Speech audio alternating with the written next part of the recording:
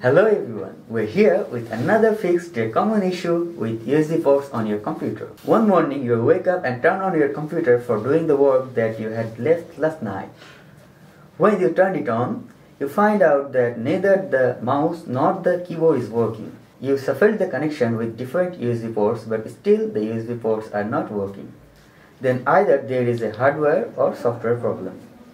The issue is enough to put you in depression. Wait, take a breath because we have got a better things for you. In today's video, we're here with the solution that will help you fix the USB ports. But before that, let's see the possible reasons why USB ports stop working randomly. As we have stated earlier, if the USB port stop working, there is either a hardware or software issue. We have been found some reason that can be the culprit you're looking for.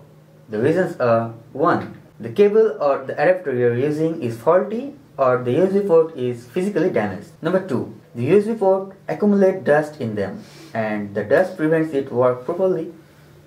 Number 3. Inconvenient power management configuration USB controls are turned off. Number 4. Outdated USB drivers. Number 5. Due to a power supply failure. So let's see how we can fix them. Right click on your start icon and go to device manager. On the device manager, click universal serial bus controller and double click on USB root hub.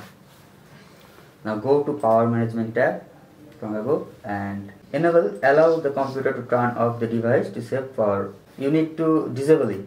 If this is enabled, you need to disable the settings and click OK. Now try putting your USB cable on your USB port. If this still doesn't work, then you need to update the USB driver. To update your USB driver, right click on the start and go to device manager again. Expand universal serial bus controller. Right click on the USB root hub.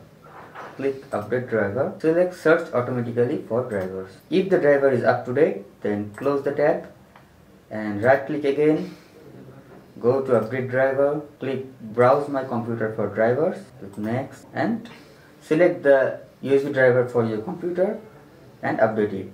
You can download the USB driver from your web browser.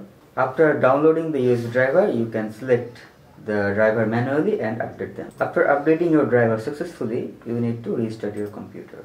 If all the mentioned methods fail to solve the issue then take your PC to a technician or if your device is under warranty, take it to the manufacturer. Sometimes a simple restart can solve the USB port not working issue. And while cleaning the USB port, do it carefully, otherwise you will break them down. So if you have any other further question about this USB port not working issue, please let a comment below. That's all for today guys. We hope you found this video helpful. So don't forget to subscribe our channel. Thanks for watching.